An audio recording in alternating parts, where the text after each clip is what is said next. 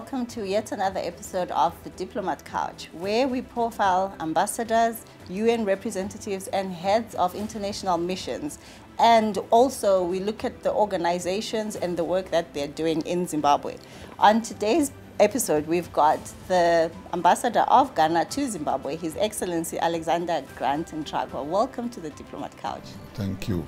On the 6th of March, Ghana celebrates um, its independence. So, can you give us a bit, a bit of a history of the country's road to independence in, in a nutshell? Thank you. I think uh, uh, you'll be aware that uh, Ghana was the, first uh, sub-Saharan African country to have attained independence after so many years of uh, colonization by the British uh, regime. before the British were other instances of interaction with the Portuguese, with the Dutch, with the uh, Spaniards, and uh, what have you.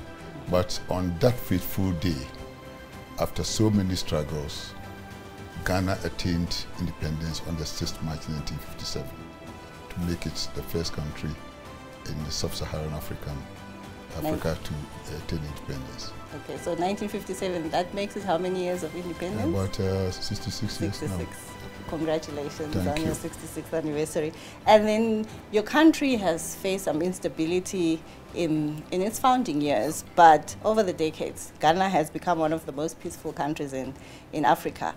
Has, how have you ma managed to maintain this peace over the years? Uh, thank you. Um, I think it's all started from uh, the way we, uh, uh, our independence started. Our first president, he came out with a policy of making sure that our educational system is not uh, limited to certain communities. Mm -hmm. So somebody from the north can go to school in the south, a Muslim can go to a Christian school, a Christian can go to a Muslim school. Mm -hmm. And we cohabited in boarding houses. So growing up, our culture was, I mean, we, we learned to, uh, how to live with each other and how to understand each other's culture. And that has been very key in maintaining peace and stability in Ghana. And so if you look at our political dispensations, anytime uh, we have a president who is a Christian, his vice is a Muslim. And anytime we have a president who is a Muslim, the vice is a, a, a Christian. Just to make sure that we uh, bring about our cultures and religion to cohabit.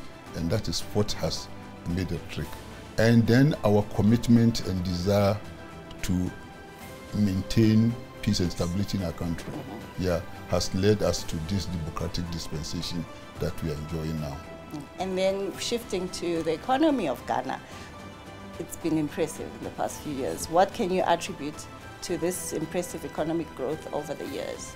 It is the programs and policies that our governments have adopted over the years.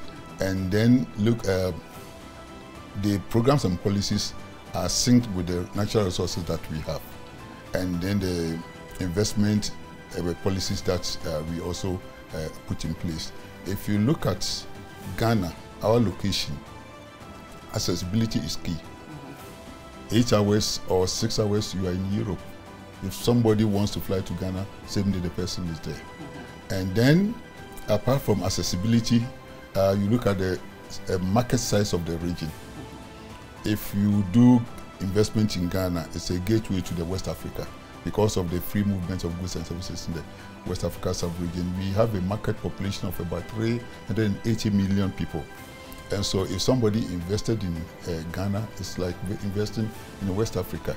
And then apart from that, there are also investor guarantees that the government puts in place for those who show interest in investing in Ghana. And there's this government, uh, uh, public and private part, uh, participation in investment ventures. Mm -hmm. So partnerships are always there, and the private sector has also been encouraged uh, to, to, to, to, to operate in an environment that is free so that they can also help the economy to stand on its feet. So we see the private sector as the, in, uh, the uh, uh, engine of growth. And so government do uh, encourage, uh, take pragmatic steps to encourage the uh, private sector to, step, to stand on their feet. Okay. And so besides what you've mentioned, the policies with private sector, the location of Ghana, what are the sectors that are driving the economy of Ghana? Ghana is second producer of cocoa in the whole world. And then we are, in terms of mining, we are second producers of gold in Africa. We are second to South Africa. We have manganese, we have bauxite, and we are an oil-rich country now. So we export crude oil also. And apart from that, we have huge uh, reserves of natural gas. And Ghana, as we speak, uh, is now self-sufficient. Not, I wouldn't, I wouldn't say self-sufficient. At least 40% of our gas consumption is produced locally. And so you look at the mining sectors, the agri sector, and then the manufacturing sector, they are uh, working hand in hand to boost our economy. And then you briefly mentioned um, private sector and the encouragement that the government has given. But what are the incentives and opportunities for foreign investors in Ghana? Foreign investors, that was the more reason why I mentioned the uh, investor guarantees. Mm -hmm. So that when an investor comes to uh, uh, do business in Ghana, one, what determines the interest is the political stability, the democratic dispensation that we have in Ghana mm -hmm. itself is an enough incentive to attract an investor to Ghana. And then we have made sure that our judicial system is also very effective so that when somebody comes to invest in Ghana and for one reason or the other, uh, the person encounters any problem, the adjudication of the issues will not delay to the extent that it will discourage other people from coming to Ghana. And then the guarantees provides an opportunity for investors to even repatriate their profits and dividends. Mm -hmm. And then uh, uh, bringing in foreign currencies and all those things, the, the, the, systems are put in place in such a way that you wouldn't have to struggle before you bring resources into the country, especially in the forest uh, uh, uh sense. Thank you, Your Excellency, for giving that insight about Ghana. When we return in our second segment, we shall discuss bilateral relations between Ghana and Zimbabwe.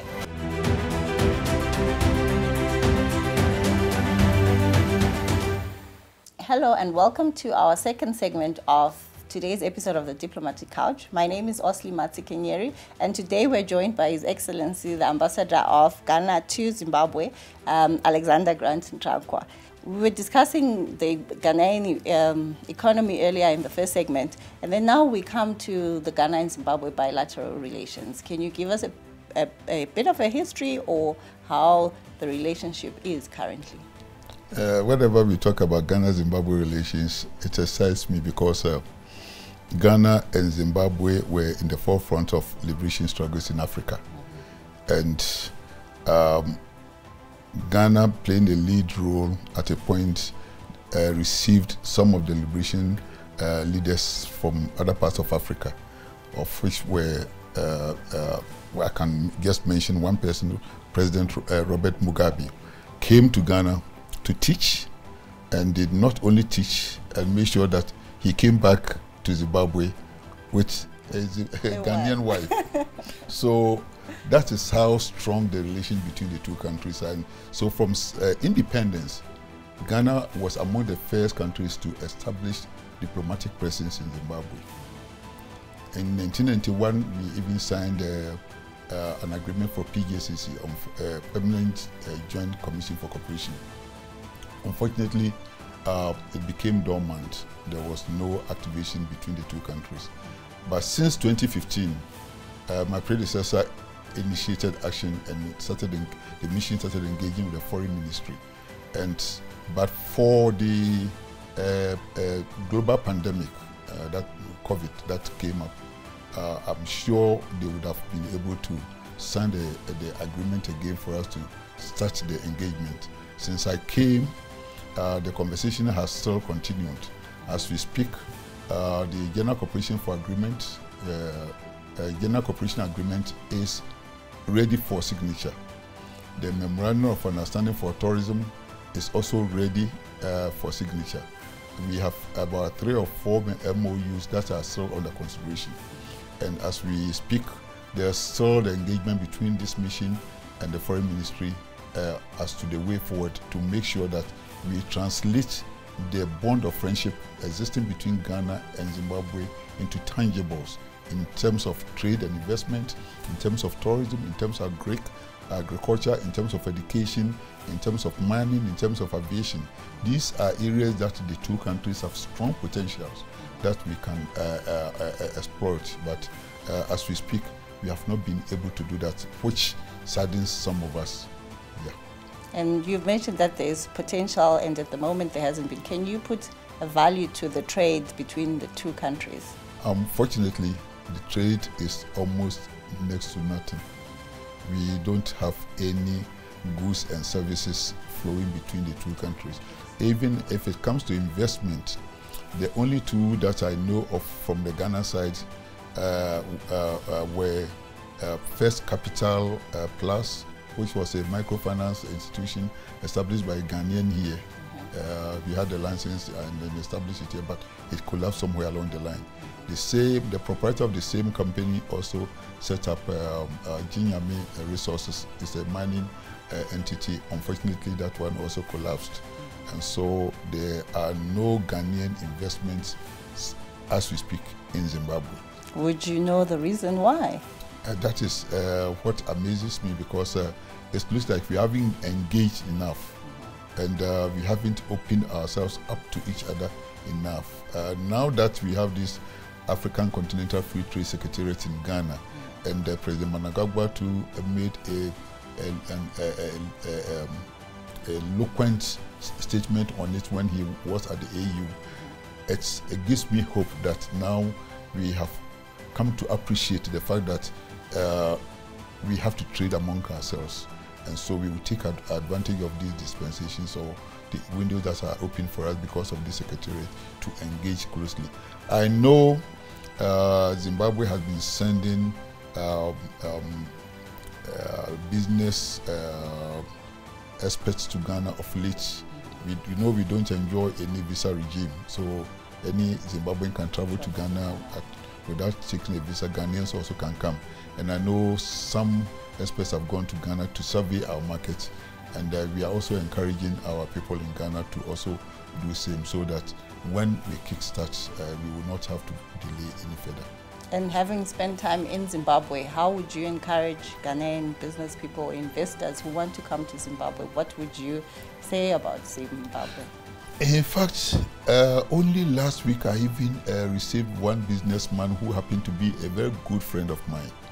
Anytime I invited him to come to Zimbabwe, uh, he was dragging his feet. His focus was always on Rwanda. He was going there uh, from time to time. So this time round, he was in Rwanda. I said, why don't you pass by? You don't need to get a visa before you come. Then he came. He was shocked what he saw in Zimbabwe. The opportunity. And he realized, he tells me that for him, wherever he goes, his vision, his mindset, his thought are all business, business, business. And he saw Zimbabwe as a virgin land for investment.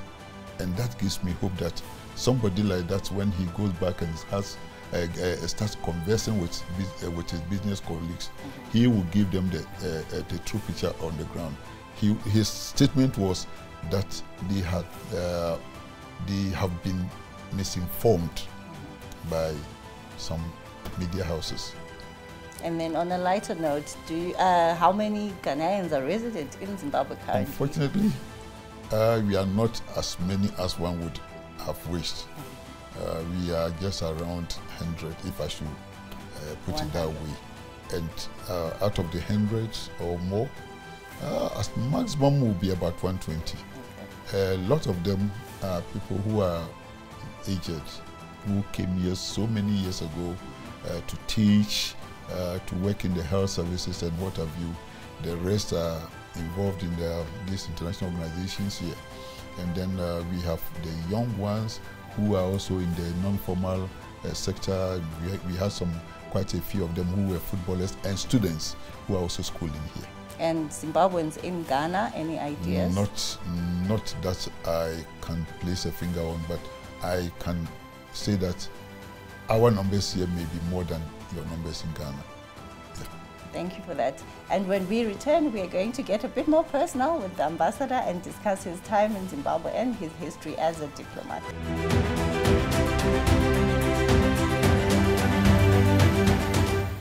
Welcome to the third and final segment of the Diplomat Couch. And today we have been graced by His Excellency Alexander Grant Ntrakwa, who is the ambassador of Ghana to Zimbabwe. And now we discuss a bit about your personal life. Who is Ambassador Ntrakwa? Where were you born, educated, and where did you grow up? Ambassador Grant, Alexander Grant Ntrakwa is a son of farmer, a farmer and a businessman, and uh, was born in a village in the western region of Ghana. Even though I don't come from that place, but my father settled there, and then schooled um, in the rural area like that. I didn't have uh, the opportunity of uh, going to one of the elite schools in Ghana. So I did my elementary school in the village and came to another secondary school, also a rural school called uh, Nsaba Presbyterian Secondary School. And then from there, I did my sixth form education with, uh, at uh, Swedru Secondary School, which is also um, semi-rural. and then uh, uh, moved on to University of Ghana to do uh, my first degree in political science and minor in psychology. Then I joined the Foreign Service uh, before I joined the service, Foreign Service, I joined the Civil Service of Ghana and was posted to the Office of the President. So I started my career right from the citadel of power, the Office of the President. Worked there for about two years and uh, got uh, transferred to join the, mini, uh, uh, the Foreign Service. Uh, so since 1997, I was in the Foreign Service. 97, I went back to school to do uh, my master's at the University of Ghana again in international relations. Then I came back and I was posted after four years at base to Berlin. So Berlin was my first posting. So I did four years from 2000 to 2004 in Berlin, came back to Ghana and did another four years at home, uh, serving in various bureaus in the ministry. And then my next posting, before I went on my next posting, I had the opportunity to go to Oxford University uh, to uh, do a nine month post uh, uh, graduate uh, program in diplomacy. So you can imagine somebody from a rural area, a village man going to Oxford. to Oxford. It was a huge privilege for me. Came back and I was posted to New York, our mission in New York. So I was the head of administration, which we normally call head of chancellery. And then at the same time on the Administrative and Budgetary Committee of the United Nations. So we were discussing the budget for the UN, uh, the whole UN system. I did four years there, came back to Ghana, and uh, in 2015, I was made the director of passports in Ghana. And uh, whilst there, I brought about a lot of innovations, the online passport applications and what, what have you. And then in uh, 2017, I was posted to Geneva I was supposed to serve four years in Geneva. So from 2017, I was supposed to go back to Ghana in 2021. Just before I would go back to Ghana, I got an appointment to come to Zimbabwe as the ambassador. So I just had to pack my things in uh, uh, Switzerland, put them home, and then continue to Zimbabwe. So I have been here since January 2021. 21. Yeah. And uh, when you were posted here, uh, how have you, how has been your tenure in Zimbabwe? How have you found Zimbabwe? Uh, I was amazed when I got here. I enjoy the greens I see all over. Mm. And I enjoy the hospitality of Zimbabweans. And for me, for the fact that I know I am with my in-laws, that makes me feel at home. And so I go out freely and interact freely. And whenever I go somewhere and somebody is trying to be, uh, trying to maybe show off a bit. I say, hey, be careful. You are dealing with your in-law, so you better behave. And that alone settles the matter. I enjoy the food, the there. I enjoy a lot, and the tourist attractions here. I haven't done all, but at least I have been to Nyanga, I've been to Gweru, and above all, I've been to Victoria Falls. And I've done the zip line in Victoria Falls? I started the zip line from Rainbow Towers, uh-huh. I continued at uh, Nyanga, and then graduated at Vic Falls.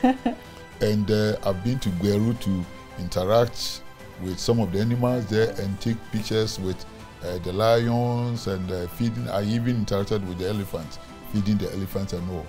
And because of the potential I saw in Victoria Falls, I connected the mayor of Victoria Falls with Cape Coast, uh, one of our uh, uh, municipal assemblies in Central Region, because of the tourism potential of Cape Coast and the, the tourism potential of uh, Victoria Falls. We are still working on the possibility of having a twin city arrangement. You know, Ghana in December, uh, Cape Coast, uh, we have this year of return and the year of, uh, we, we always change the names every Christ, uh, December. And it attracts almost uh, between 1.5 to 2 million diasporans to Ghana. And the reason why we want to get these two uh, uh, sister cities to work together is that when they are coming to Ghana, for instance, if we have that bilateral arrangement, the package can be done to link them up to Victoria Falls. So you come to Ghana and spend the Christmas and everything. Either you come to Victoria Falls before you come to Ghana, or you come to Ghana on your way back, you come and have a stint at uh, Victoria Falls. And by so doing, the revenue will not be limited to Ghana alone. Victoria Falls and Zimbabwe will also have its share. And that is one key thing that I want to make sure it materializes before I leave here. And you, now that you've mentioned the December pilgrimage to. Ghana that happens, I've seen it on social media, it's now become such a big thing. It's a big thing. Why do you think that has happened? What has Ghana done to encourage such tourism? You know, uh, because of the uh, time limits, we were unable to delve into the history of Ghana the way we should have. Be the Ghana is doing this because of its uh, history with slave trade, uh, Atlantic slave trade, and the forts and castles that we have in Ghana because of the slave uh, trade.